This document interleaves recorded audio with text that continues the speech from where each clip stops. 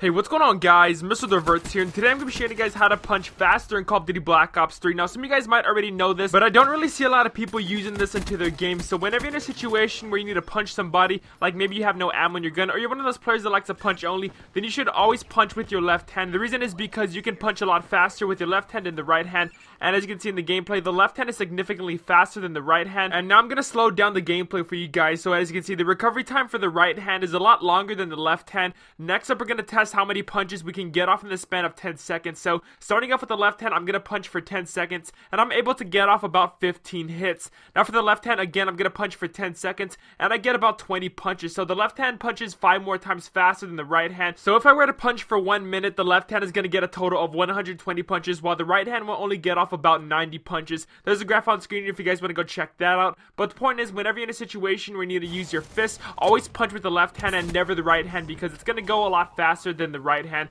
Anyways, guys, hope you all did enjoy today's video. If you did, drop a like and comment down below what do you guys think of this tip. And subscribe for the greatest Call of Duty Black Ops 3 tips and tricks. Thank you guys for watching. I'm Revertz. Have a good rest of the day. Till next time, I'll catch you guys later.